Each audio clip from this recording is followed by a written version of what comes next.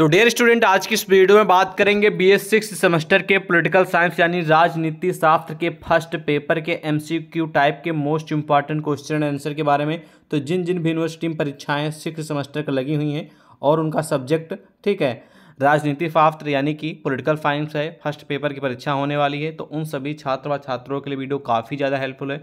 तो बिना देरी के वीडियो को हम शुरू करते हैं और वीडियो आप को पूरा देखना पड़ेगा, इसलिए क्योंकि इसमें वो सारे क्वेश्चन इंक्लूडेड हैं जो आपके एग्ज़ाम में आने को मिले तो आपको काफ़ी हेल्प मिलेगी। चलिए अब आते हैं क्वेश्चन पे, ठीक है? आज की इस वीडियो का तो सबसे पहला प्रश्न है कि मन अस्मृत में कुल कितने अध्याय हैं? पहले जान लीजिए मन अस्मृत है क्या? तो ध्यान से सुन लीजिए, मनु अस्मृत जो है एक धर्म ग्रंथ है, प्राचीन समय का यानी कि प्राचीन इतिहास का धर्म ग्रंथ है, जिसमें बहुत सारी चीज़ों का वर्णन किया गया है।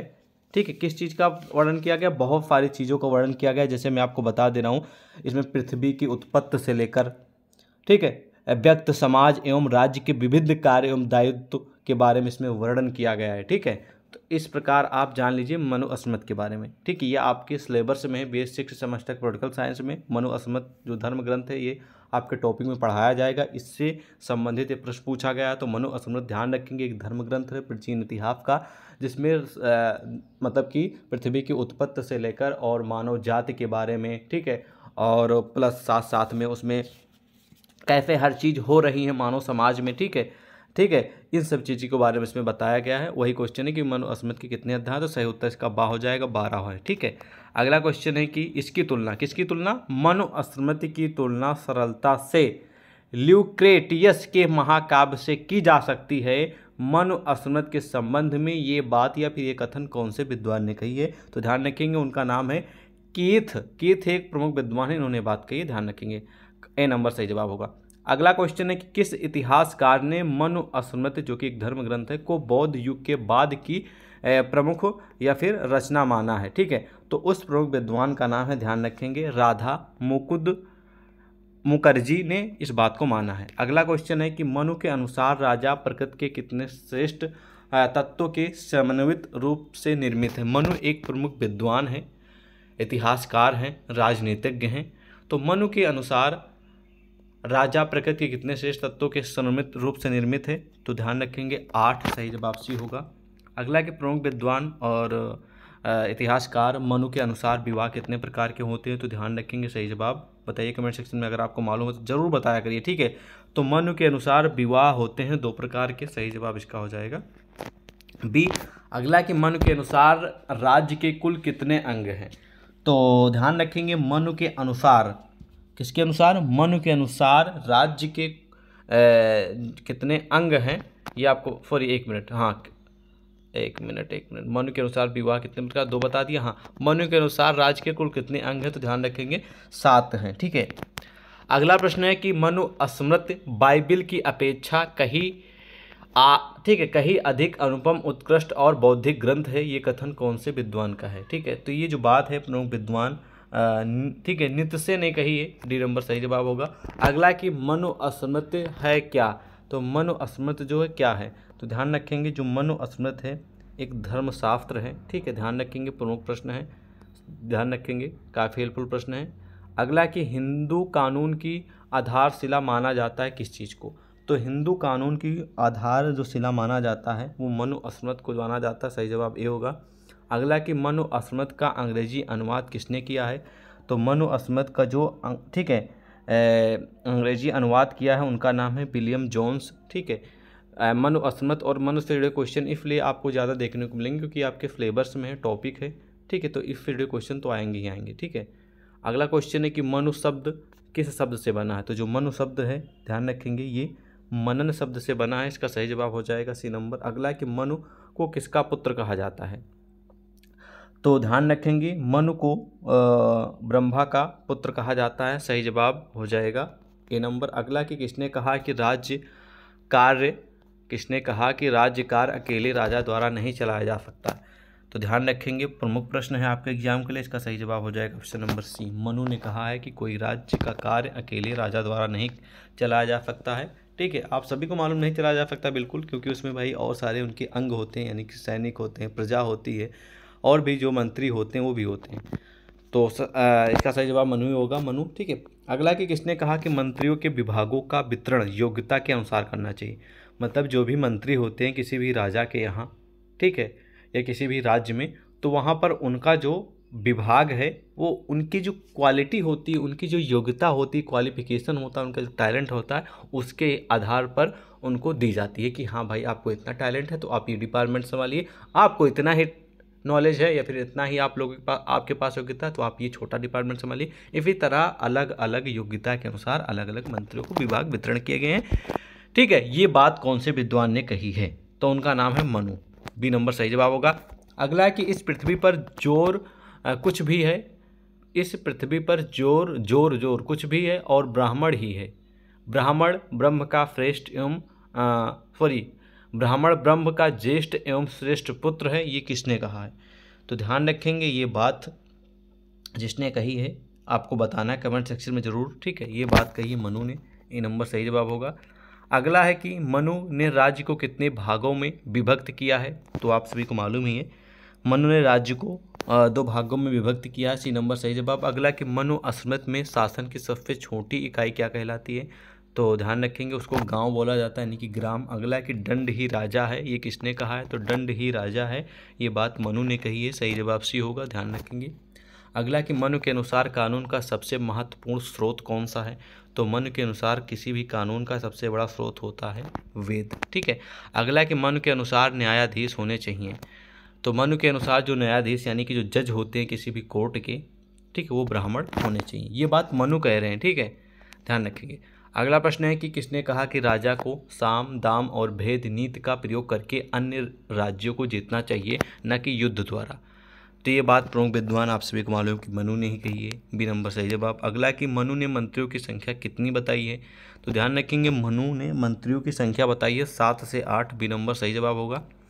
अगला है कि किसने कहा कि राजा का कर्तव्य है कि वह प्रजा की रक्षा करे और उसके बदले में उसकी उपज का छठा भाग प्राप्त करे।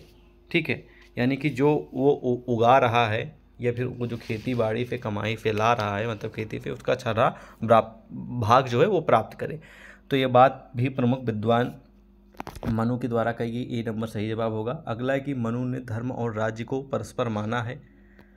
ठीक है, एक दूसरे के भिन्न या एक दूसरे पर निर्भर क्या माना है? तो ध्यान रखेंगे, मनु ने धर्म को, राज्य को परस्पर माना है, एक दूसरे पर निर्भर होने पर। ठीक है, बी नंबर सही जवाब होगा। अगला है कि धर्म से मनु का क्या मतलब है? तो धर्म से जो मनु का मतलब है कर्तव्य का पालन करना, ए नंबर सही जवाब होगा।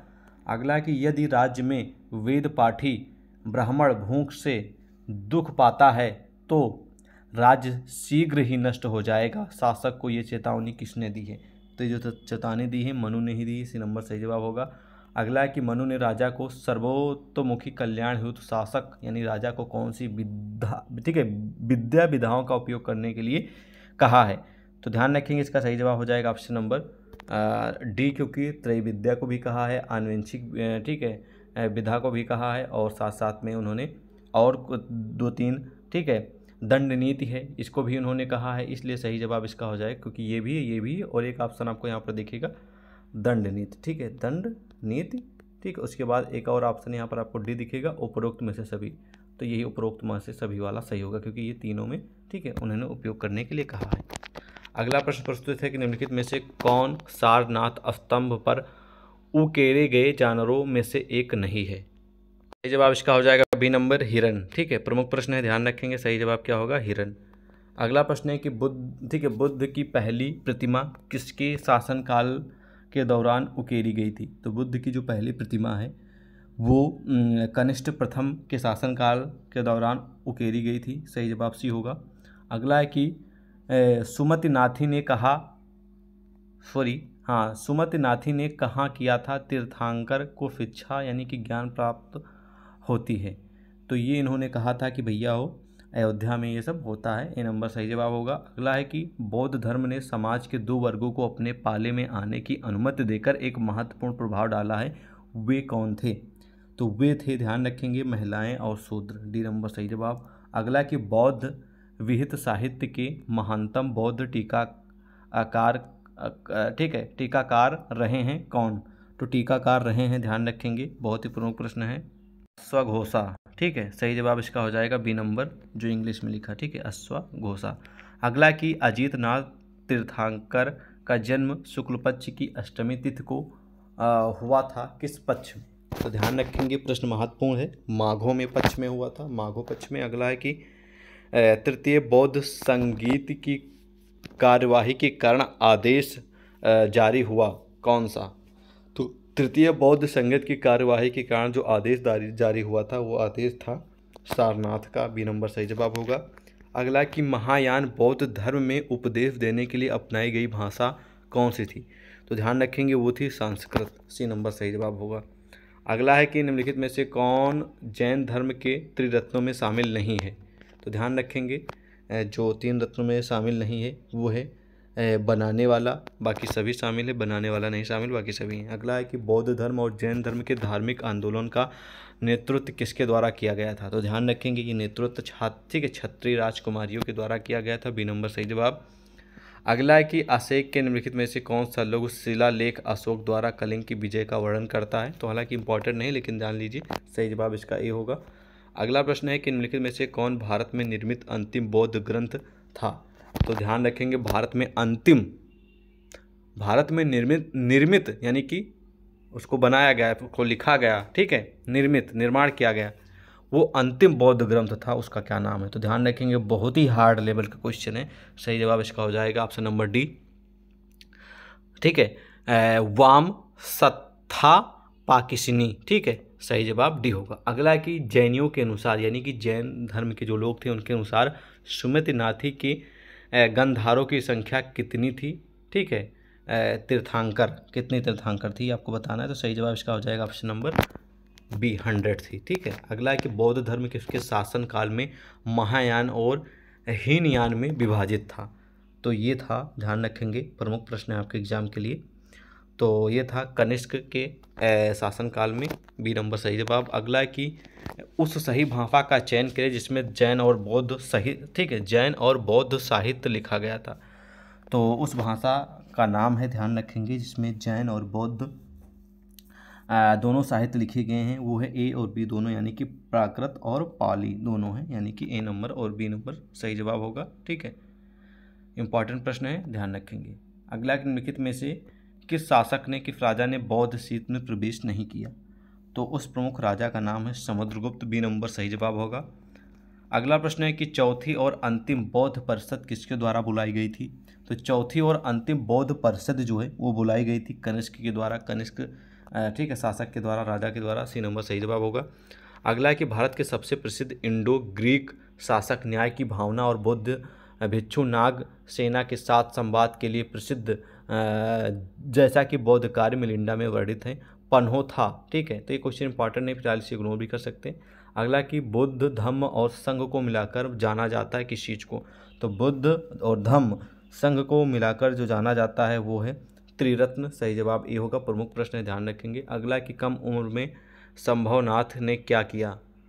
तीर्थांकर, मध्यकालीन बादलों के बिखराव को देखते हुए महसूस करते थे क्या? तो महसूस करते थे वैराग्य। बी नंबर सही जवाब होगा। अगला प्रश्न प्रस्तुत है कि अल बरूनी किस भाषा का ज्ञाता था? तो जो अल बरूनी था, वो आपको बताना है किस भाषा का ज्ञान था। अगर आपको मालूम है, ज़रूर कमेंट सेक्शन में बताएँ, ठीक है? अल बरूनी सभी भाषाओं का ज्ञान था, उसको फारसी का भी था और सीरियाई का भी था, हिब्रू और संस्कृत का भी था, इसलिए सही जवाब इसका हो जाएगा उपरोक्त में से सभी, क्योंकि सभी भाषाओं का नॉलेज था। अगला की किताब उल हिंद किसने लिखी है तो इसको लिखी अल बरूनी ने, ए नंबर सही जवाब होगा। अगला की किताब उल हिंद किस भाषा में लिखा गया है तो इसका सही जवाब हो जाएगा ऑप्शन नंबर बी अरबी में लिखा गया। अगला प्रश्न है कि अल बीरूनी भारत कब आया तो अल बिरूनी जो भारत है, वो ग्यारहवीं शताब्दी में आया, ए नंबर सही जवाब होगा। अगला कि इब्र बतूता भारत कब आया? तो इब्र बतूता जो है वो भारत आया था चौदहवीं सदी में, ठीक है? सी नंबर सही जवाब। अगला कि अल बिरूनी कहाँ का निवासी था? तो अल बिरूनी जो था, ध्यान रखेंगे, वो, ठीक है उज्बेकिस्तान का निवासी था, ठीक है? उज्बेकिस्तान का, ठीक है? ये नंबर सही जवाब। अगला कि इब्र बतूता कहाँ का निवासी था? तो जो इब्र बतूता था, ये था निवासी मोर मोरक्को का बी नंबर सही जवाब। अगला क्वेश्चन है कि फ्रांसवा बर्नियर भारत कब आया? तो फ्रांसवा बर्नियर जो है, भारत आया था वो सत्रहवीं शताब्दी में। ठीक है, सही जवाब डी होगा। अगला क्वेश्चन है कि इब्र बतूता द्वारा लिखा गया यात्रा वृतांत को क्या कहा गया? तो इसके द्वारा जो यात्रा वृतांत लिखा गया, उसको कहा जाता है या फिर कहा गया है, रिहला बी नंबर सही जवाब। अगला कि रिहला किस भाषा में लिखा गया है? तो ध्यान रखेंगे जो रिहला है, ठीक है ये अरबी भाषा में लिखा गया ए नंबर सही जवाब होगा ए नंबर। अगला कि महमूद गजनबी कर दरबार का प्रसिद्ध मतलब मोहम्मद गजनबी किस दरबार का प्रसिद्ध इतिहासकार कौन था? मतलब मोहम्मद गजनबी के दरबार का प्रसिद्ध इतिहासकार कौन था? तो मोहम्मद गजनबी के दरबार का जो प्रथम, सॉरी, प्रसिद्ध इतिहासकार था, वो था अब बरूनी। बी नंबर सही जवाब होगा। अगला कि इब्र बतूता किसके शासनकाल में भारत आया था? तो उस समय शासनकाल था मोहम्मद गजनबी का, उसी समय इब्र बतूता जो भारत आया था, ठीक है?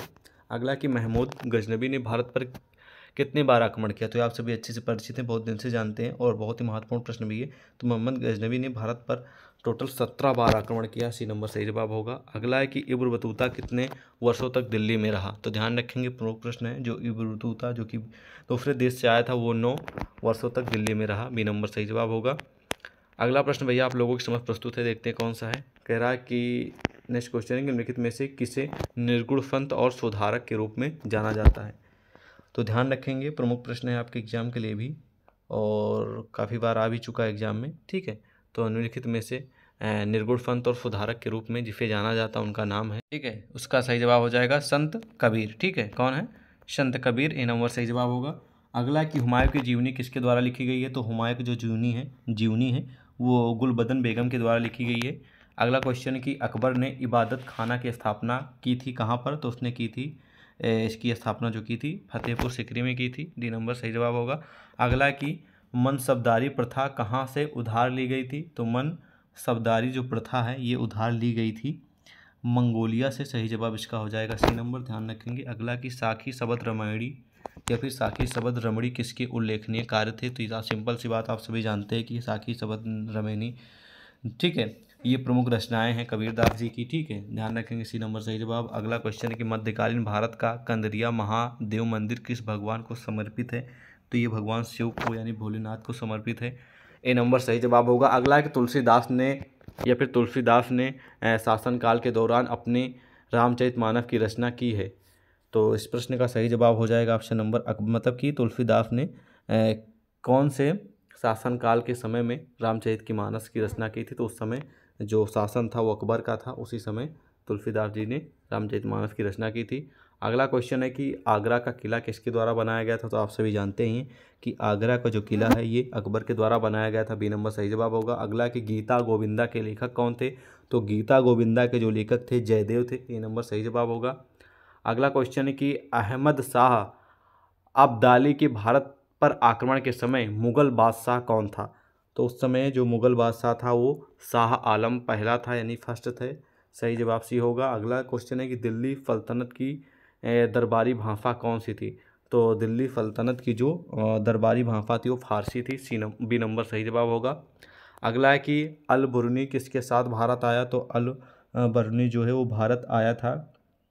गजनबी महमूद के द्वारा। ए नंबर सही जवाब होगा। अगला है कि एक परगने का प्रभारी कौन होता? कौन था? तो एक परगने का जो प्रभारी है, वो सिकदारो था। जैसे कि आज आप लोगों को मालूम कि थाना, थाने का एक प्रभारी होते हैं, ठीक है? और फिर तरह पहले एक परगने के अधिकारी को सिकदारो बोला जाता था, ठीक है? तो आज की इस वीडियो में करीब करीब मैंने आपको पचास पचपन क्वेश्चन बताएँ। बाकी और भी पचास पचास क्वेश्चन है। कुल मिला के इस पीडीएफ में सौ क्वेश्चन है। समय ज़्यादा है नहीं।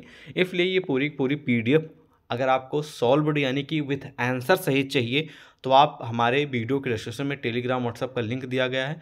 व्हाट्सअप पे ज्वाइन होने के बाद ग्रुप पे आप हमें पर्सनल मैसेज कर दीजिएगा कि सर हमें B S six semester political science first paper की जो solve M C Q type की पी डी एफ़ सेंड कर दीजिए तो हम आपको सेंड कर देंगे। तो तैयार कर लीजिए। हालाँकि मैंने आपको पचास से पचपन करीब करीब हाँ इतने क्वेश्चन तो आपको बता ही दिए, बाकी कुछ और जो बाकी रह गए, वो आप हों हमारे पीडीएफ से तैयारी कर सकते हैं। वीडियो लंबी ना हो टाइम वेस्ट ना हो, इसलिए मैंने आपको जानकारी दे दी। और हाँ एक बात को और ध्यान रखेंगे, सभी प्रश्नों का उत्तर देकर आएँगे, किसी भी प्रकार की कोई माइनस मार्किंग नहीं है। और ये कोशिश करिएगा कि जल्दी जल्दी प्रश्नों का उत्तर देने का प्रयास करिएगा, क्योंकि समय बहुत शॉर्ट रहता है, दो ही घंटे का समय रहता है। अगर आप पहले या दूसरे प्रश्न पर ज़्यादा टाइम दे देंगे तो बाकी के क्वेश्चन का उत्तर देने में आपको जो है, समय शॉर्ट हो जाएगा। यानी कि आपको लगेगा कि इतनी जल्दी समय बीत गया हमारे पास तो समय ही नहीं रहा। क्वेश्चन की जानकारी थी, उत्तर तो आता था, लेकिन टाइम ओवर हो चुका था। तो ये एक्सक्यूज ना आए, ये समस्या ना आए, इसलिए सही समय पे अपने क्वेश्चन का उत्तर दे दीजिएगा। बाकी आपका अपना ही चैनल सक्सेस टू हुई तो सब्सक्राइब कर लीजिएगा। मिलते हैं और नए वीडियो में। जय हिंद।